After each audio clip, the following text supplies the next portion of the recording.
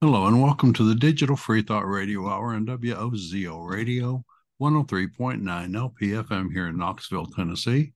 Today is Sunday, uh, Sunday morning, September 24th, 2023. I'm Larry Rhodes or DJ Doubter 5. And as usual, we have our co host, Wombat, on the line with us. Hello, Wombat. Aim for the eyes. Oh, no. I don't want to know where that's from. Digital Free Thought Radio Hour is a talk radio show about atheism, free thought, rational thought, humanism, and the sciences.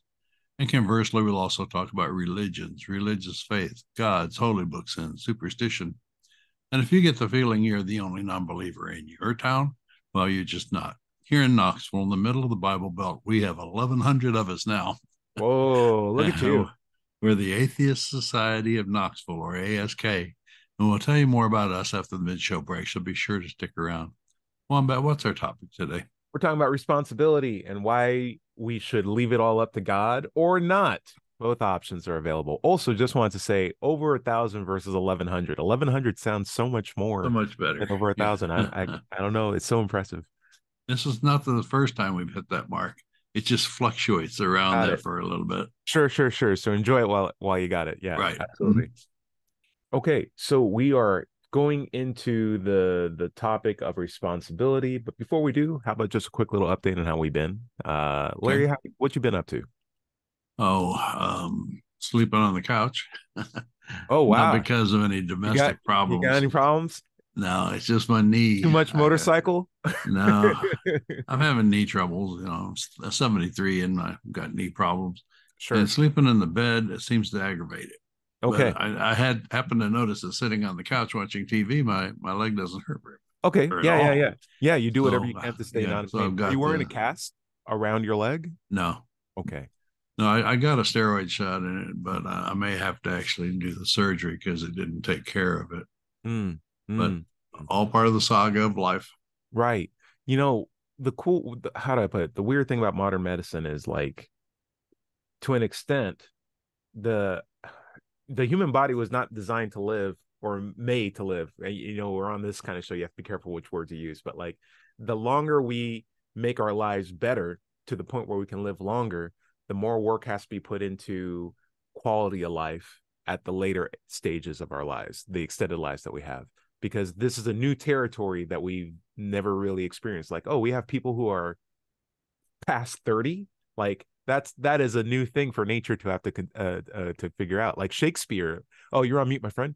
Shakespeare only had like died in before his 40s, if I if I recall correctly. Like that was like the typical average lifespan. Larry, what do you think? Just take yourself off mute, and I'll I'll hear you out. I, I, keep hitting the button; it keeps flashing at me. Uh, no, that's a good thing, though. Uh, yeah. Remember, before we were uh, industrialized and uh, yep. civilized, uh, we lived to 30, but I mean, we had, we died of abscess tooth, yes. regular infections on any kind of thing, uh, bad, bad food, just mm-hmm. one thing after another. Um, so we've got those behind us pretty much. We can take care of that. Yeah. But the other end of the life is still a challenge, but right. hopefully we'll take care of it. There's, there's a saying that I've, I've, uh, I've heard that really intrigues me. It says the first person to live over 200 years may have already been born. What? Okay. Yeah. Because of the advancements in science and genetics and all the stuff that we have sure. going on right now. Sure, sure, sure, sure, uh, sure. A new baby that was born last year or a year before might actually live to be 200. Now you never know. Okay, so that's an interesting concept. I always mm-hmm. I always thought of it uh, on the flip side. I would have said something like the first person who will give birth on like Mars or like mm-hmm. in outer space may have already been born already. And like right. when I think about it like that, I'm like, you know, that could be a thing that could actually happen. Though, like I can imagine some sort of study where they're like, hey, we need a a, a lady that's pregnant in the International Space Station that's been up there for like years at a time. How about you go up there for the entire gestation period and and and give birth? Whoa! Like the first spatial baby. What do you think? I don't think that's a good idea. Politics? no, no, because of uh, the bone density. Uh, ah, true. so you need like gravity that. as a baby. Yeah, yeah, yeah. Maybe they'll figure out a way to like induce gravity. You can't have the baby exercise. You know, you can't put him on a, a treadmill, you know, weightlifting to keep his bone uh, structure growing. Sure, uh, sure, hard, sure. But yeah. so Larry's looking past that. He's like potential lawsuits. Like that baby's gonna be like, I want to be a baseball player. Um, speaking of like good bone density, I've been taking care of myself uh now that I've recovered back from COVID. Mm. I have been trying to get back into the gym and get back to my regular uh performance and strength levels. I feel like I'm back now. I went back to rock climbing. Um, I know the reason why I'm doing rock climbing is I need an activity to do when daylight savings time kicks in and it's just dark after work and I can't go out and play. So like I'm getting into rock climbing now, so I'll have that for the winter sessions.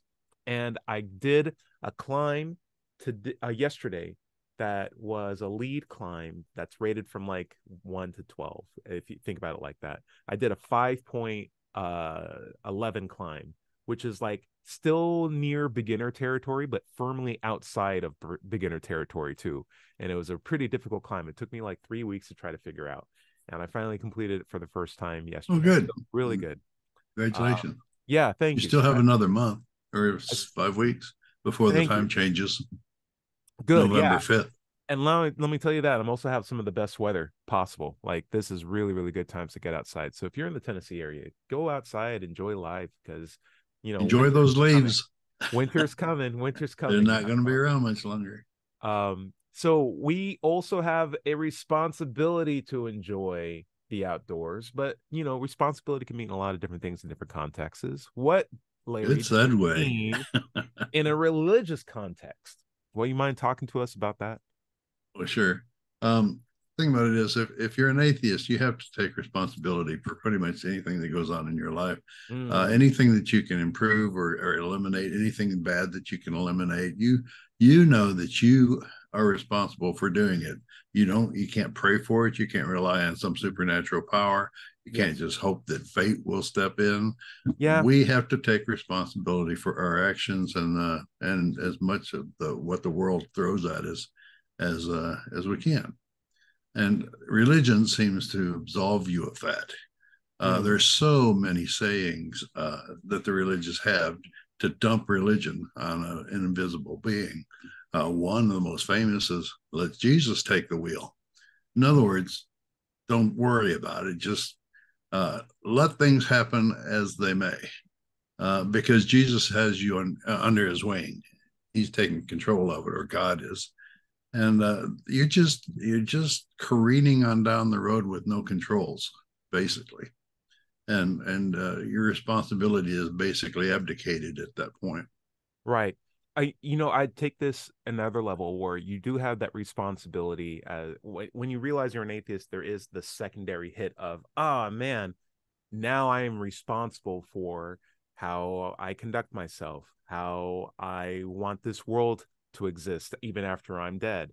Um, what I know and what I don't know, what I teach people and what I don't teach people. Um, if I'm a good person or I'm not a good person. But there's also an extra layer to it because you can't just, you know, give it all to God, but there's another layer to the responsibility, which is accountability. And like that opens up the door to not only am I responsible to treating you well, but if the consequences of my action are poor, I get the re- consequences of that. Like I get consequences. So it's cool to be responsible because everybody wants to be responsible. Like you put that down on like a piece of paper and you're like, hey, is this a good trait? Yes, everybody loves responsibility, but not everybody loves accountability, which is when things go wrong, we're looking at you. You are the one that's accountable. When there's a mess, yes, it's responsible to clean up after messes, but if we find a mess, that's your fault.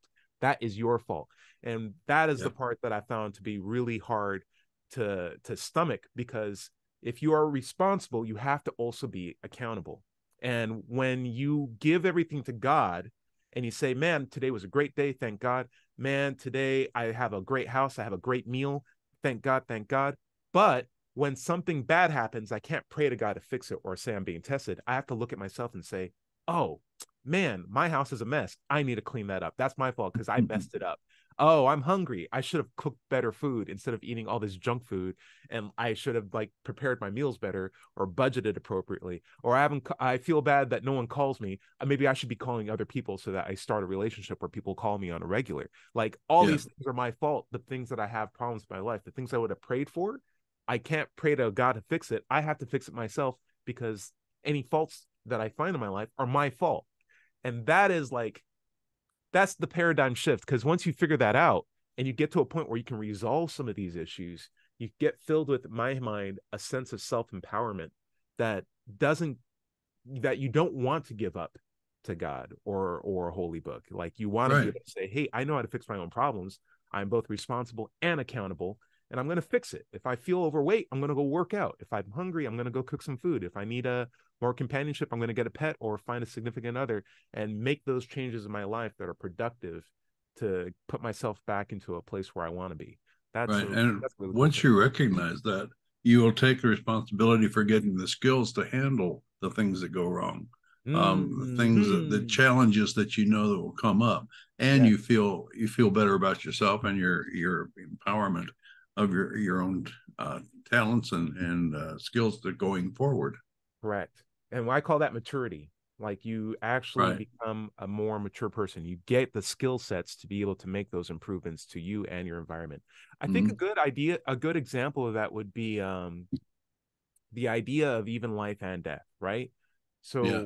we want to be responsible in our lives however what religion teaches us is that a component of life which is death doesn't really exist as an end of life but is really more of just a change of address so like when you die right you just get to hang out at a different place. There's another party somewhere else that's even better than here, and you get to go there and hang out.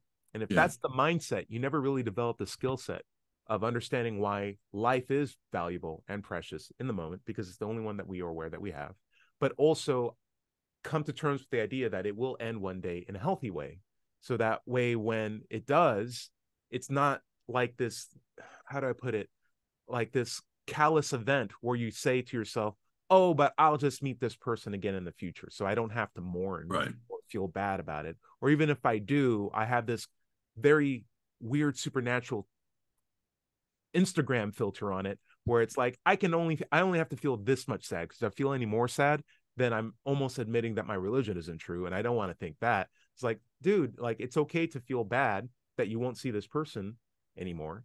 But also it's also good to realize that the life that you guys had, nothing's being taken away from that, and that you guys can still appreciate the life that you have for the rest of your experiences. And the fact that you can make a good bond with somebody, even if one person's gone in that bond, doesn't take away your ability to make bonds with more people or devalue the bonds that you had with that original person. Right.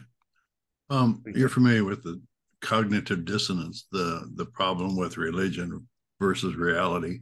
Yes. Uh, you know, um, for instance, uh, you think that you are the the perfect creation of an almighty god that can uh, make you whatever way you want to mm-hmm. but at the at the flip side you're also a dirty sinner who can do no good you know without mm-hmm. god on your side type of thing mm-hmm. it's holding two diametrically opposed uh, beliefs at the same time right and and it's it's a it, it's cognitive dissonance and one of the things is in prayer is, uh, you know, I'm going to pray to get a good job. I'm going to pray uh, to make more money next year. I'm going to pray for this, that, and the other. Why is it nobody ever prays to get their house cleaned? They they know on that level that it doesn't work. They say you mm-hmm. can pray for anything, and in the Bible it says if you have the faith of two mustard seeds or a single mustard seed, that you can move a mountain. Why not clean your house or fix your car? You know, um, it's they know at a certain level that it ain't true, but mm. they're they're in uh, this state of cognizant dissonance uh, when they actually have to face up to it. Sure, I I do think it's telling, right? Um, and I've had conversations with Christians who I was driving with who would talk about like the value of their faith, while in their ear there's a Bluetooth headset and they're driving like a Tacoma. Yeah, you can't trust science. How many times have you heard you know believers say that at right, the same right, time right. while they're using the products of science? Yeah, like tell me that when we're flying on a magic carpet, then I'll be- maybe I'll be more inclined to believe you then. But like when I'm looking at you, you are a person wearing a blue shirt, wearing a blue hat, wearing blue pants, saying, "Man, I love wearing red clothes," and I'm saying like I am not seeing that, though I think you might be mistaken at, at the best. In the in the yeah. nicest sense i just sing you sing said, well why don't you wear some?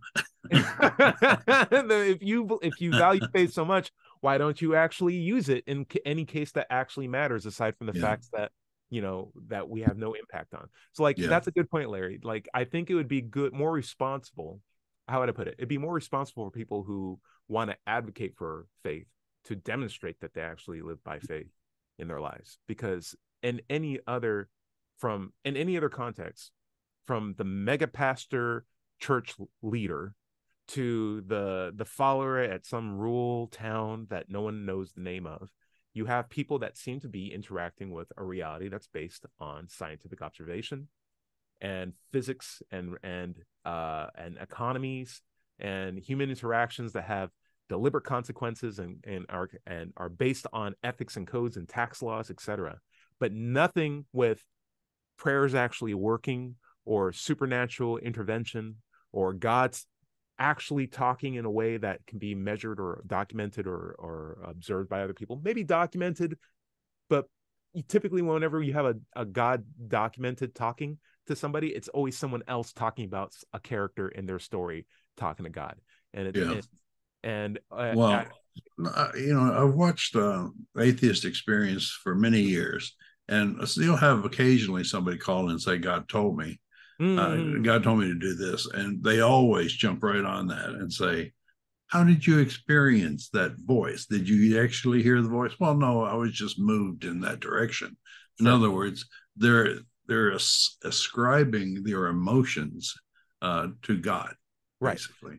and i think And go it's ahead. good i think it's a good point because i think if you really do care about god and you really do care about messaging of how your religion is perceived by people particularly non-believers who may have a genuine interest in figuring out how you came to that conclusion and whether or not it's accurate i think you have the responsibility and the accountability to make sure that people who talk about god and their experience with god in that aspect is corrected and that you go to those people and say actually that was an emotional experience let me explain to you what an actual God talking to you moment feels like and is like. That way we can all be on the same page. Because the last thing I want is people explaining or expressing themselves as I have spoken with God and then being completely off the mark and making everybody look like fools when they call into an atheist radio TV show.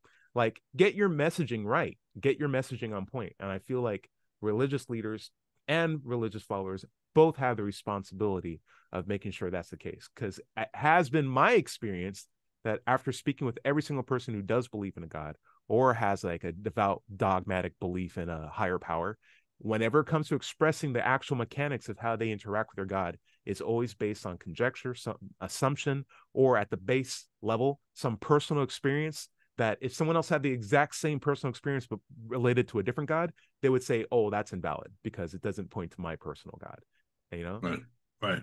And this abdic- abdication of uh, responsibility is it doesn't only hurt you; it hurts your children and and your, the people who you are responsible for, because you are abdicating that responsibility and uh, just trusting to. When you say trust to God, to God, I I hear trust to luck, you know, because you're just basically hoping that things will work out for you, you and your family uh, Right. without actually working toward that end, other than getting in on your knees in the bedroom and and hoping out loud, basically, that things will turn out okay. Right. You're letting Je- Jesus take the wheel is just basically um, going rudderless into the future. going rudderless into the future. I love it. Yeah. Yeah. Yeah. it's true. Yeah, it sets up the current generation or the next generation with a poor skill set. I like to think of it as you had mentioned before, Larry, that um, learning the values of responsibility and accountability gives you skills, right? Like it Mhm. gives you cards in a deck that you can play with as you grow older and and rely on and further refine to make Well, not only that, it gives you the motivation that to gain the skills and the the knowledge and the motivation that you need skills and the and, and the motivation to get them. Yeah the the best way i can put it is say my power goes out right and i Mm. need to fix my home maybe a breaker goes out and i go into my toolbox that's behind that door right there and i say hey i need a screwdriver and i find out i don't have a screwdriver because i need to uh, uh, go into a toolbox that is a problem that i i would have figured out at a crisis point right but i have a problem of, i have an opportunity to fix that now by just going through my toolbox when i don't have my power out and say, hey, do I have my flashlight here? Good. Do I have a, does it have batteries? Great. Does it turn on? Fantastic. Do right. I have a screwdriver? Do I have all these tools? And are they structurally good and sound? And are they organized in a place where I can find them? That's how the maturity of growing up works. Like you don't necessarily use all the skills at once, but you have them there because you've tested them or you organize them or you develop them as you grow older. And the thing about responsibility and accountability is if you don't you don't just get it as you go older. You don't just turn 20 and open up your mailbox and then here's all these aspects for being an adult that's just waiting yeah. for you and glistening. Like you mm-hmm. have to develop them and you have to work with them and figure out how they operate, right? And it's not like a bike. If you don't use them, they go they get worse over time, like just like those batteries in that flashlight. You have to constantly make sure you're testing the tools that you have. And so if you are a child and you never had the opportunity to develop responsibility or accountability at the rate that someone who has to take on those those mindsets are at a young age or even at an earlier period in their life, you're not going to have them as you get older and that's a scary thing because kids who never have the opportunity to be responsible or accountable for their actions grow up to a, into adults that are irresponsible right. and or in, incapable. Yes. And and if you know just the way how economy works in the US, like capitalism mm. works, if you're rich and you're you're a kid, you're probably going to be rich and adult an adult. And that doesn't necessarily mean that you're any more well suited for being a responsible leader or accountable uh, uh, governor or or a person of power or a person of authority. It just meant that you were in a climate or a geolocation where people had money, and that gave you more opportunities in life to to continue to advance. But if you still are unresponsible or irresponsible and unaccountable for your actions, that leads you to being a poor leader of people. And the unfortunate thing that we have in our in our country generally is that there's no criteria that that instills responsibility and accountability in people. We have programs, but we don't like make it a mandatory thing. And right. not only that, but the people who are in power, there's no criteria to clean out the people who lack the ethics of responsibility and accountability for their actions. And if anything, we can just say, hey, if you are, and I here's the part where I might be overstepping, but if you are religious, I feel like we should be asking you these questions first. I feel like we should have the criteria of what do you think what do you think good people are what do you think bad people are how do you govern your actions uh, how do you make sure you um, if you if you hurt someone or offend someone how do you what do you go what steps do you go through to resolve that do you just pray to your god or do you go to make up amends with that actual person why is that important how do you come to the conclusions and are they rely that you have that you care so much about and are they reliable or not I feel like right. we need to go to those people first to make sure that they have the mindset capable of governing other people before we, we right. go. It's, and why would you trust somebody who can uh, get forgiven for anything they've done wrong against you simply mm. by asking their invisible friend for forgiveness and mm. going on? You know, right. why would you trust that person? Right. And the the shame along with that is why do we allow not just hey i can pray to my god and come up with my own forgiveness but also i can pray to my god and come up with my own reality so that when the doctors and scientists on tv are telling me to get vaccinated i can listen to my pastor or my bishop or my thought in my head and say you don't need vaccinations and i'll be mm-hmm. like that's just as good like yeah. how is that how are these competing um realities for people you know right. like it, right. it, it's just and you know how you know how dangerous it is to actually believe that that inner voice that you have in your head is god i mean if it's literally god mm. one you can never ignore it two you always have to do what it tells you to do imagine ha- having uh, your inner being having to follow your inner voice do whatever it tells you to do right right uh, or on pain of hell you know right. or, or or sin uh, it's just, I mean, it's incredibly dangerous to assume that the inner voice is that of God, and but many you know, people do. Matter of fact, we have uh, stories. Uh, what is the son of son of Sam thought uh, God was telling him to kill people, and he did. You know that type of thing. But you know, God, Jesus, even when he was so like, I oh, look I, at Abraham. all right, all right. We can yes, Abraham's great stories, but I'm also going to pick on Jesus too, because here's a guy Uh-huh. who's like going into cathedrals or like you know places of worship, knocking over tables and being like, "Ah, you guys are doing it wrong. I'm the number one God. I'm the number one. I'm the number one guy. I'm literally the son of God. I'm literally the son of God. Here, you want some magic healing? Here, you want some extra wine? Here, you want some fish bread? Here, I'm the number come one guy. back I'm from the the number one guy. dead. Heal us. I'm coming back from dead. And then when they put him on the cross, he's like, God, why have you done this? Why have you given Yeah. me this Mhm. cup? I'm like, he's not taking accountability for all the things he said. It's like, Mhm. no, this is part of God's plan. I'm like, dude, you got to be responsible. You got to be accountable for the things that you did and said. Like, I would have loved to see him just be like, you know what? This was on me, but I'm going to be back. It's all right. Guys, Mm. calm down. It's all good. No one needs to have a war over me. I'm going to be back. Trust me. This is this is a temporary situation. Yeah. I would have loved And- to see that. more. Yeah. And for those Bible literalists out there who think that Jesus came back in three days, um, it- read what the disciples did or said when he came back and, and presented himself to the disciples. None of them recognized him. I mean, it could have been brother, a cousin, it could have been a completely different guy altogether. And he just BS'd them and believing that he was the original guy. So go into your Bible and read that. Just, just Yeah. to check it out. So like And doubting Thomas did not even touch the wound.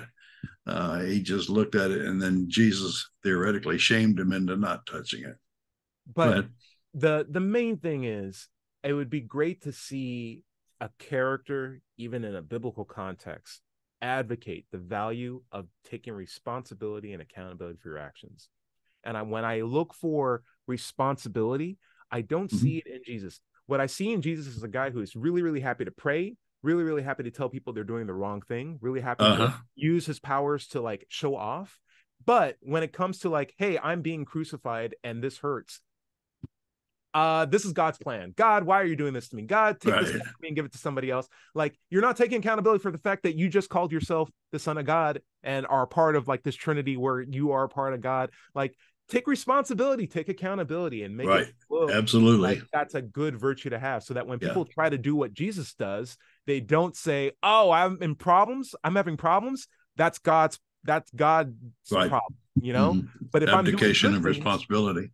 If i'm doing good things it's god giving it to me it's like dude Yeah. you just need to take responsibility for your own actions it'll be great gary it's good to see you on the show Yeah, Dread Pirate, welcome. You're just in time for us. yeah, for Join sure. us for a break. Change my name. Okay. You guys can hear me all right? yeah, Yeah. we can hear you just fine Yeah. All right. This is the Digital Free Thought Radio Hour on WOZO Radio, 103.9 LPFM here in Knoxville, Tennessee. We'll be right back after this short break. Welcome back to the second half of the Digital Free Thought Radio Hour. I'm Doubter Five, and we're on WOZO Radio, 103.9 LPFM here in Knoxville, Tennessee. Let's take a moment to talk about the Atheist Society of Knoxville. ASK was founded in 2002 we're in our 21st year now and have over a thousand, well, have 1,100 members now. We also have weekly in person meetings every Tuesday evening in Knoxville's Old City at Barley's Tap Room and Pizzeria. Look for us at the high top tables inside, or if it's pretty weather, outside on the deck. You can find us online on Facebook, meetup.com, or go to our website at knoxvilleatheist.org. You can just Google Knoxville Atheist and it'll take you there. Just that simple. By the way, if you don't live in Knoxville, you should still go to Meetup and do a search for an atheist group in your town. Don't find one? Start, Start one. one. That's right. Wombat, where do you want to pick up? Hey i want to talk about responsibility and accountability. I in my mind they are two parts of developing skill sets that make you into a more mature individual. However with religion you can actually stunt the growth in these two aspects because in my mind it's not just tools that you have but it's tools that you have and regularly check and maintain and get better at using. And at a certain point you can use them to resolve other problems that you might re- uh, run into in the future particularly as you're an adult because if you don't use those tools They're transferable skills. they're transferable skills, exactly. if you just keep them in a closet and you never use it, if you never use a responsibility, you never use accountability, they're going to collect dust. They're going to get uncalibrated, and you when you re- need to rely on them, they're not going to be ready for you. And a lot of times, people operate under such a level of high cognitive dissonance or overconfidence that they think they're being responsible when they're actually being irresponsible. They think they're being accountable when they're actually not accountable whatsoever. And if they ever get themselves into positions of leadership or to a point where they can tell other kid people how to operate in their lives, they can transfer terrible irresponsible practices and unaccountable practices to the next generation of people. That can spread just as easily as the effort that it takes to learn responsibility and accountability. In fact, in my mind, it's more easy to spread bad advice on how to be responsible and accountable than good advice to be responsible and accountable. So yes. let's set the record straight. Dread Pirate Higgs, I would love to understand. And if you want to do a quick uh, mid show invocation, I'm also to- totally for it too. But after you do the invocation, how about you explain to me good practices to make sure how to spread good responsibility and good accountability in our next sure. Sounds good. Okay. God be me captain, I shall not want. He maketh me to float in salt waters. He steereth me through glassy seas. He filleth me bowl. He steereth me through the straits of noodliness, for goodness sake. Mm. Aye, though I sail through the heaving of tempestuous waters, I will fear not sinking. For thou art with me, thy mast and thy rudder, they comfort me. Thou preparest a meal before me in the presence of me mates. Thou quenchest my thirst with grog, my goblet runneth over. Truly, pasta and grog shall be abide with me all the days of me life, and I shall dwell in the galley of the quab forever. Amen. Amen. Yeah, I I wholeheartedly concur. Uh you know the yeah. It's it, it in fact I think it's easier by virtue of the fact that it requires you it requires less of you. Yes. Right? Yeah. So these bad habits, uh, not having to think things through, not having to take uh, responsibility, absolving yourself of uh, culpability, I guess. Uh, these are all easier things to do than take responsibility and think about things and all the rest of it. And so that's why it's easier to uh, to behave that way, and sure. unfortunately, to our to our uh, detriment. Right. I I've got a maybe uh, uh, we already talked about sensitive issues on this show, so I'll just dive into this. But like, if you are obese, chances are your family is also obese uh, like if you have yes. obese parents, you're gonna have uh, statistically way more often than not obese children, and it's by virtue of the fact that there's a culture of behavior that is not being corrected when it comes to rearing a child. So like yeah. when I even yesterday I saw you know uh, an obese couple and they had a child and the kid was also very round as well and i thought right. to myself like it's not my responsibility as someone who's who does not know these people whatsoever to to talk about good eating habits or like where to eat or like hey that much soda is not good to like chug in like one sitting that's like probably a day's worth of calories in there but these are questions that the the couple aren't asking each other or correcting and they're just handing off with very little effort eh, the energy into the kid. And now i have to think about the flip side. So like what would it take to be a fit couple right who has to exercise regularly and then have a kid and then instill those behaviors in the kid and be like kid you also have to work out well. I know donuts taste good. I know halloween has a lot of candy but here's the reason why you have to be more responsible and accountable for your actions because it leads to better long-term health as evidenced by us who've been doing all this work our entire lives that's so much asked that's so as dread as you said it's so much to ask for a person to be responsible and accountable but mm-hmm. at the mm-hmm. end of the day that's what in my opinion the purpose of my life or what purpose of life is it's not just to exist it's to set a standard for yourself and meet it through your actions absolutely and uh, yes i've been actually on this quite a bit with people uh, just in the last few days just in conversations i've had uh, you know jean-paul sartre he talked about authenticity right mm. living mm-hmm. authentically mm-hmm. as opposed to living in bad faith Mm. And he made, I don't know if I brought this up before about the waiter. He brings up an example of the waiter. A waiter who has been a waiter a long time is a waiter, right?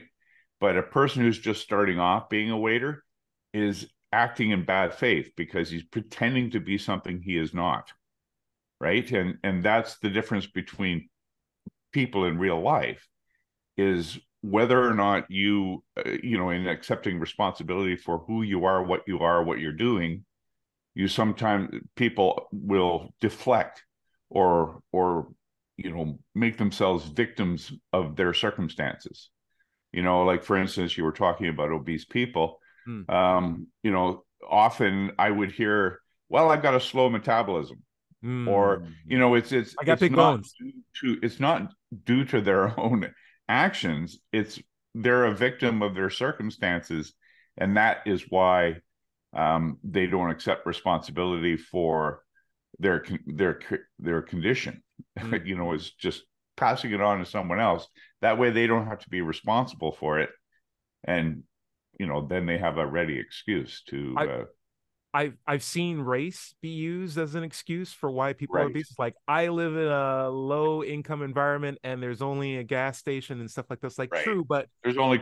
Kraft Kraft Dinner available yeah yeah you you have a car and the grocery store is in town here and the aisle Right. for the vegetables is like right next to the entrance, right? Yes. It's like, well, I have a this. It's like you at a certain point you have to be accountable for yourself, Yeah. right? And instead of driving three blocks to pick up Kraft Dinner you could walk there yeah, there's ways. Yeah, yeah, yeah. I There's mean, ways to know, do it. little things right little things it's really honestly that all it is and it's an exercise of discipline at the end of the day Yeah. and i think it doesn't just hit diet i think it goes to how we treat people i think it Of goes course. to how we vote it goes to how we think goes to Yeah. how we act and conduct ourselves these Yeah. are actions that we need to be able to discipline ourselves with and the reason why i care about the actions belief in my opinion is an action uh but act the the the idea that we have things that impact each other, right?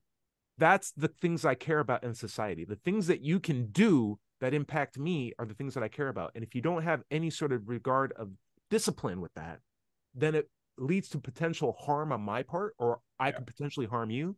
We can get rid of these harms if you were to have some sort of accountability for your actions, recognition that you have an impact on my life with the things that you do. And Yeah. a responsible sense of behavior that says, listen, even though I might believe in a supernatural God, I'm not going to use that as a way to impart how you should behave in a way that might, you know, distress you or make you uncomfortable. I'm going to have my personal beliefs, but we're going to have a conduct of code of ethics that's a, equal for everybody that hopefully enhances uh, the quality of all of our lives without Yeah, having to for sure. necessarily partake or lean towards me or be biased towards me because that that's my personal God and that makes me feel better.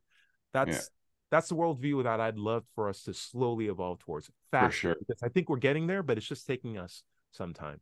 That's all. well it, it, yeah exactly and you know it- you know certainly i tire of hearing people say well you know i i can't help it I, that's the way i was raised Yeah. It's like ah, yeah. uh that's the last thing you should actually rely on you know like if you if you are just the result of your upbringing sure. then uh, you're not self-directed at all Right, right, right. It Or- makes me scared. or you are in certain respects but not in the respects that matter right.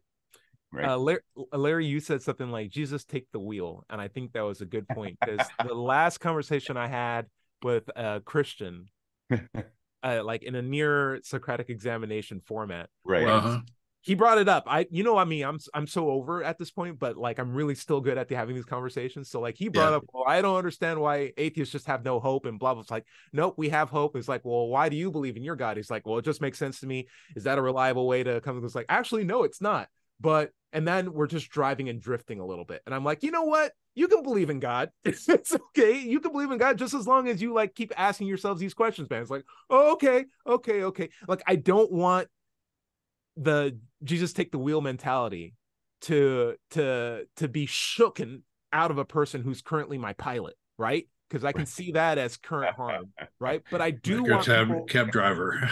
right, right, right. But I do want people to continue to ask these questions in like more calm and, and controlled settings because I think these are good questions to ask. I think it's just as good to ask these questions, but there's a time and place for everything, right?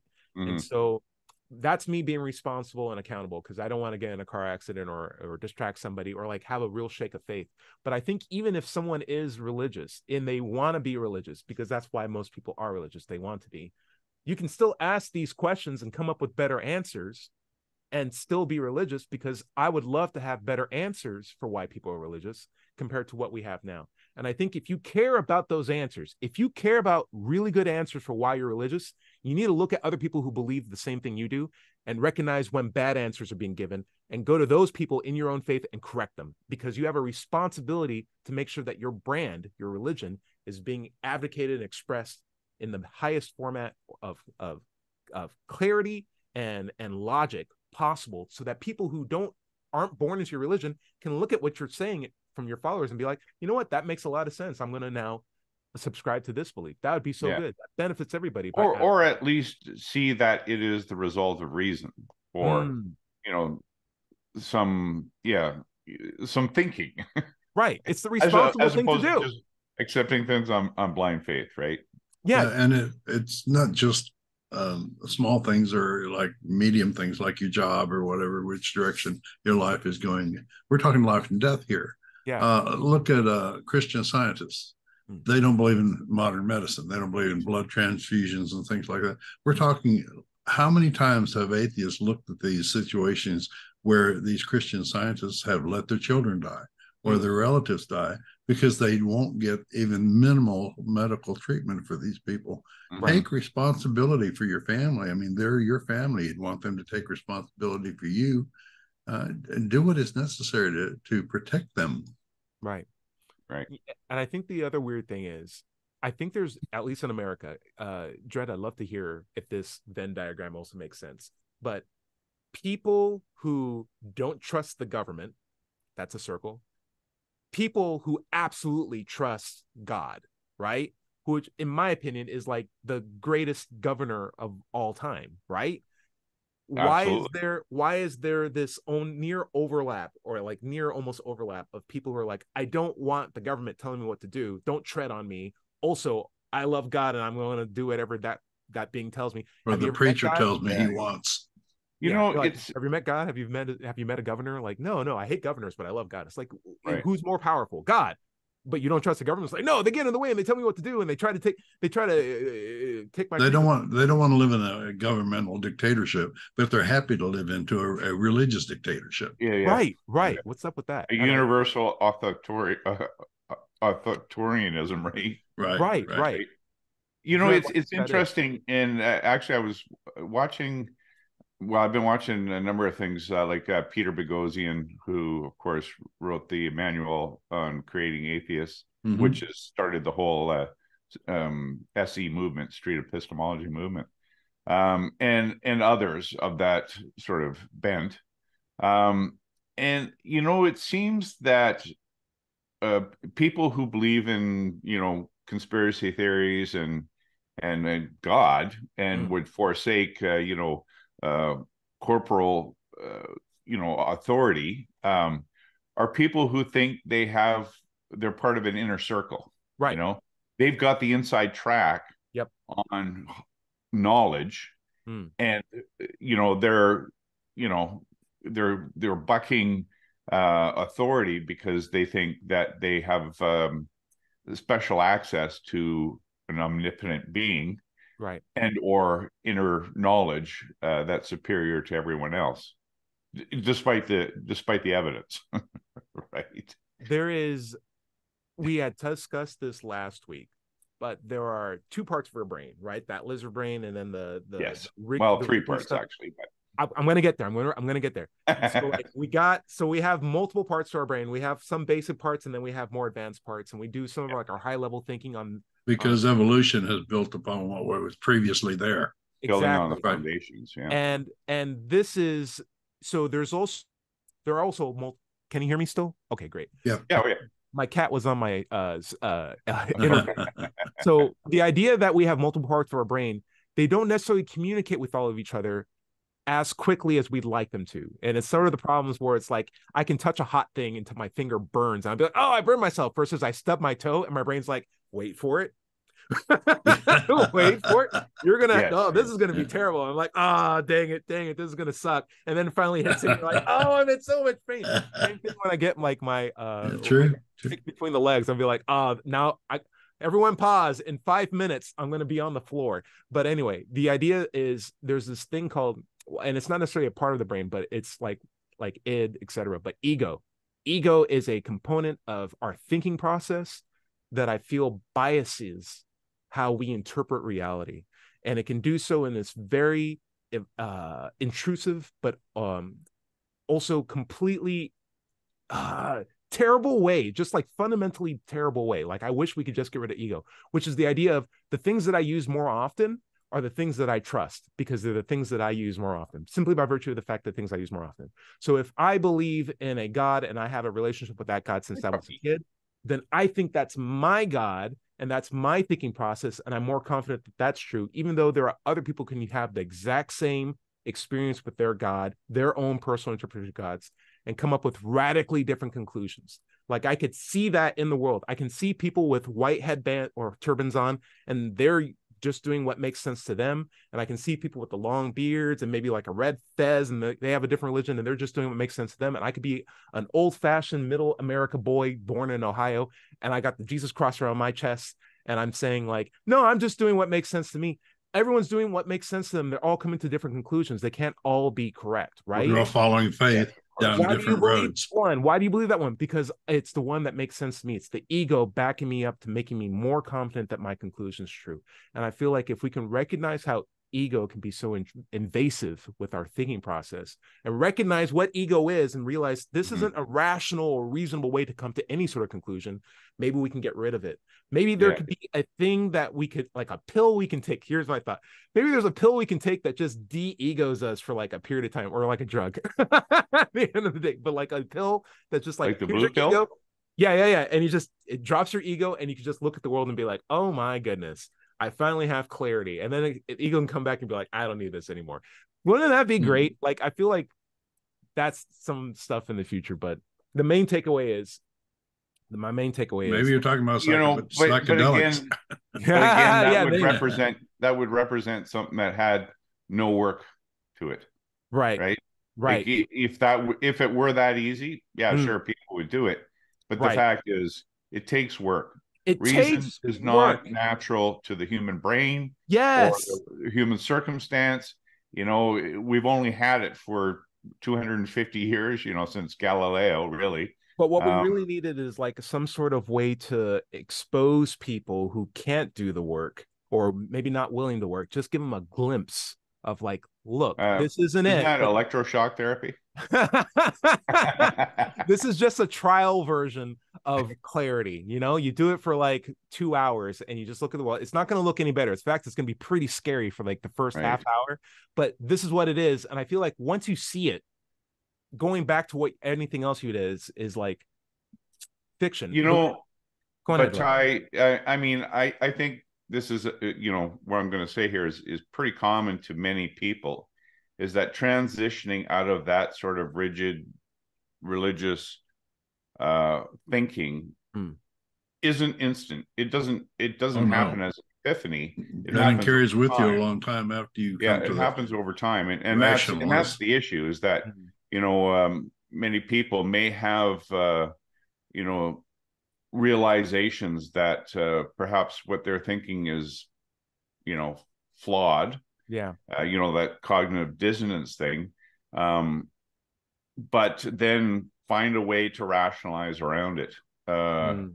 you know because if i mean if it were like you know paul of uh, tarsus walking down the road getting struck by lightning and realizing yes jesus is the savior and he's my god and mm. i mean if that happened in the reverse way that would that would be great but it mm. doesn't right typically a transition out of uh, belief is one that takes a long time just because the pieces that you are looking at really don't fit together the way you thought sure until the point you just can't handle it anymore right? you're saying there's a fundamental lack of maturity to appreciate uh, uh, uh, a transition of that caliber such that you couldn't just do it in like a pill right. or a button exactly. It's the yeah. difference between some guy who spends a year learning how to rock climb and a person who just uses a ladder, right? Yeah. Like yeah. the guy who was climbing was learning how to discipline themselves to do something that was very challenging, came up with a lot of obstacles, learned how to develop different techniques, learn how to Yeah. manage risk and efficiency and endurance and change their bodies in a meaningful way compared to a person who's like, why did you do that when you can always just climb with the ladder? And they put the ladder up against the wall and they'll climb up to the top and they touch the top hole, top hold and they're like, look, see, I can do it too. And they come back down the ladder and they walk away. Like a thousand miles away, it looks like they did the same thing Mhm. but there's such a fundamental context there that you have to appreciate that the dedication to developing reason and responsibility and accountability like that standard yes, and that's set, ongoing practice, right? Ongoing, ongoing practice. You can't just yes. you can't just train for it and then and then stop. right and You then can't stop training for rock climbing. You, I mean, when you're not rock climbing, you're still training for it. Right? yeah and on top of that You you know. just can't carry a ladder with you everywhere You sometimes and you don't have a ladder. Yeah. sometimes Yeah. you don't always have a ladder Yeah. right Yeah. And Yeah. so you have to think about like I am ready in any context as a rock climber. I'm ready in any context to climb something if I need to climb something because I developed those skills. But for the person who has a ladder, great that you have a ladder, but that only works on very specific things to climb, and you have to always carry that ladder. When you leave That's your right. ladder at home and you go to somewhere else, like on vacation or something, you are completely unequipped to climb things, even though you feel like you have the confidence of owning a ladder. If you don't have it on you, that's the difference. And that's what That's I feel right. like with the religious mindset. It's when I'm in church, I feel great. I feel empowered. I feel connected with God. I feel like a moral person. I feel ethical. I feel like I'm connected with all these people around me. When I go into a completely different environment where there's a bunch of heathens, uh, uh non-believers, and like I don't necessarily have my holy book ready to flip through to the chapter my pastor told me to flip through to. How do I operate? How am I ethical? How am I moral? Aside from just the random verses that I can barely recite in my head. You know, I heard the saddest thing yesterday. Sorry, last at work. I some guy at my job who is a little the younger generation, I would say, like the 20s. Uh, there was a conversation I was overhearing about religion, and some guy says, No, you gotta read the Bible. And the guy, the guy, the younger guys were like, No, there's YouTube videos for everything now. And the guy's like, You can't just read YouTube, you just can't watch YouTube videos for Bible passages. And the young guy said, No, because they're all two hour long videos. And I'm like, for a, for a for a young kid that that sounds meaningful because that means they had to sit down and watch something for two hours because that's a big ordeal for like a kid in their 20s but like for an adult they're like for for people our age they're like what are you ta- how is that at all relevant? How is that at all a relevant Well, not only that, I mean, the guy has a point about you have to read the Bible because theoretically you could watch um, Cecil B. DeMille's uh, Ten Commandments and understand Genesis, Hmm. but it's it does not match the Bible. And these Right. a lot of these videos that are being produced does not match what the Bible says. right You Yeah, need yeah. to read the text in the Bible if you're going to say that you know the Bible. Yeah. Yeah. Yeah. You know, uh, uh, just as an aside, I'm I'm actually uh, uh, on a two day uh, course with uh, Mar- uh, Bart uh, Ehrman.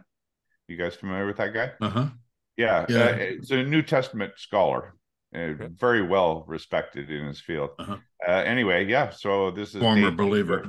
day two of a conference of uh, 10 New Testament uh, scholars talking about various aspects of Yeah. the New And you Testament. can, you can bet he he uh, bases his lectures on the very text that he's talking about, not some kind of interpreted version of the text. Hmm. well, yeah, absolutely. And, and in fact, pointing out because he knows ancient Greek, he knows Aramaic, he knows Uh-huh. these ancient languages that were actually used in uh, in these texts. So you know, coming to uh, a fuller understanding based on evidence Hmm. as opposed to Mhm. what people would like to believe, and and actually including uh, you know uh, the non uh, canonical uh, texts like uh, the uh, Gospel according to Mary and Peter and and whatnot. Uh, it's very very interesting, but again, it's just lending to a, a fuller understanding of what these things actually say, as Right. opposed to what What people, would have us believe. Or tell each takeaway- other that they say. And my Yeah. takeaway would be is if you adopt the label of a Christian, it's your responsibility and it's your accountability to make First sure Peter that you understand the text. Don't watch a YouTube video. Don't listen to someone else read it. You read the text, you understand it, you come to a critical assessment, and then fact check it with other Christians after you put in the work. It demands a lot of you, but it's the most important thing you can do in your life, which is believing in God, right? So Right. go through the effort. And then if you find out through all your effort that you can't come up with better answers that are currently on the market, make better ones. And if you can't still even after that point, maybe you don't have a good reason to believe this this this thing. And Right. that is a real conclusion that you might reach. Doesn't mean that you should keep forcing yourself to believe it. Maybe you're at a point where I don't have a good reason to support this belief anymore. Right. It's okay to walk away and and say, "Hey, Yeah. I don't believe this anymore." Maybe you'll come to a point where we're at. I know I've gone through some rigor in that field that's led me to where I'm at now. I would happily abandon where I'm at now if I had better reasons to lead me back into a faith. But no one's putting in that work, and that's what we're demanding. Right. Because you have a responsibility to do it, not me. Yeah. And we need to wrap up. Okay. All right. Uh Dread Pirate Higgs, final words. Oh, uh, okay, yeah, uh, Mind Pyrate. That's where my stuff is on uh, YouTube. I do lots of shorter stuff so that it appeals to the short attention span of um, many people out there. Cool. M I N D P Y R A T E YouTube. Check it out. Right. And I would say you have the responsibility to come up with good reasons for what you believe. It's not my job to come up with reasons for what you believe. I can just Right. wait until you have the good reasons. That's what I meant by responsibility. That's my final words. Check me out. Let's chat on YouTube. Larry Rhodes, where can we Yeah. find your stuff? Uh, my channel is on YouTube is at Doubter Five. My the rest of my content can be found on my webpage at digitalfreethought.com. Uh, be sure to click on the blog button for our radio show archives, atheist songs, and many articles on the subject. You can find my book, Atheism What's It All About, on Amazon. Thank you, Dread Pirate. Uh, you can find this show and podcasts everywhere. Just search for Digital Free Thought Radio Hour. Uh, if you're watching this on YouTube, be sure to like and subscribe. If you're having trouble leaving religious beliefs behind, get help from recoveringfromreligion.org. Remember, everybody is going to some other religion's hell. The time to worry about it is when they prove that heavens and hells and souls are real. Until then, don't sweat it. Enjoy your life. And we'll see you next Wednesday night at 7 o'clock on WOZO Radio. Say bye, everybody. Bye bye, everybody. Bye-bye. Amen.